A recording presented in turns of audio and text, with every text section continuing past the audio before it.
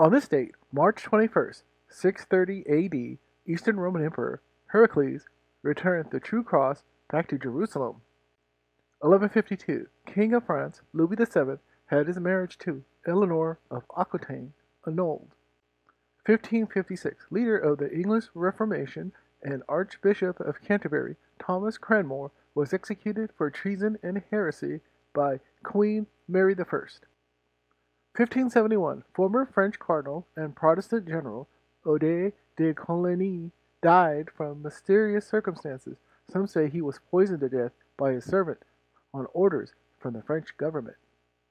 1617, Native American princess Pocahontas died from unknown causes at the age of 20. 1788, the Great Fire of New Orleans destroyed most of the city.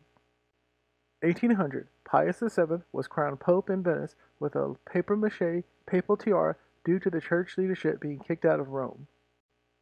1801, the British Army defeated the French at the Battle of Alexandria.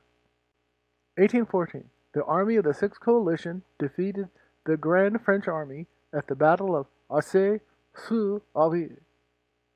1863, Union General Edwin Sumner died from a fever at the age of 66. He was the oldest field general on either side during the Civil War. 1871, Otto von Bismarck became the first Chancellor of the German Empire. Journalist Henry Livingston sets off on an expedition to find Dr. Livingstone in Africa. 1928, Charles Lindbergh was awarded the Medal of Honor for his first solo transatlantic flight.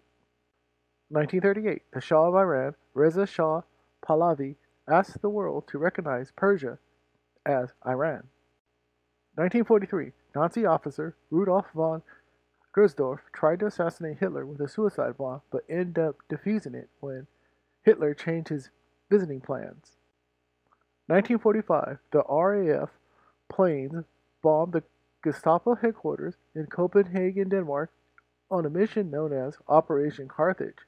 The bombers unfortunately also bombed a nearby school, killing 125 civilians. 1946, the Los Angeles Rams signed running back Kenny Washington, making him the first African American player in the NFL since 1933.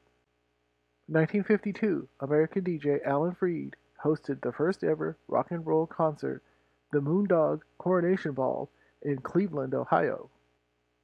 1963, Alcatraz Federal Prison officially closed its doors.